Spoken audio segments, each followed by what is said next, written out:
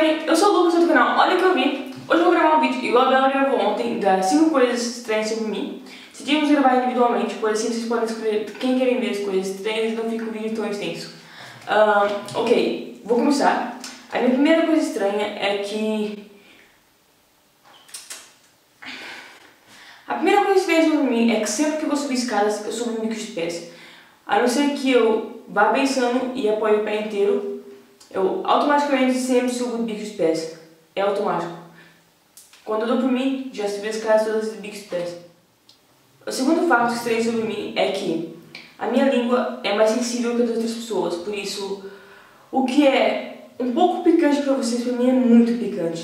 O terceiro fato estranho sobre mim é que eu consigo estrelar o ombro e o cotovelo facilmente várias vezes ao dia. O quarto fato sobre mim é que sempre que eu vou dormir eu... e tenho alguma dor muito forte, da qual eu já tomei algum remédio e não consigo dormir, ou então quando estou com insônia, eu deito na cama e balanço o corpo mais ou menos assim, nesse movimento, porque, bem, eu não sei porquê, mas a minha mãe disse que pode ser porque quando eu era pequena eu só adormecia no berço quando ela fazia esse movimento com o berço. Então eu acho que pode ser por causa disso.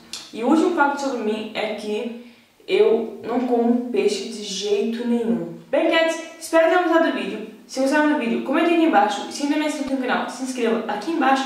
E ligue o sininho para acompanhar o VEDA deste ano. Já dá o vosso like, comentem o que acharam e até o próximo, cats.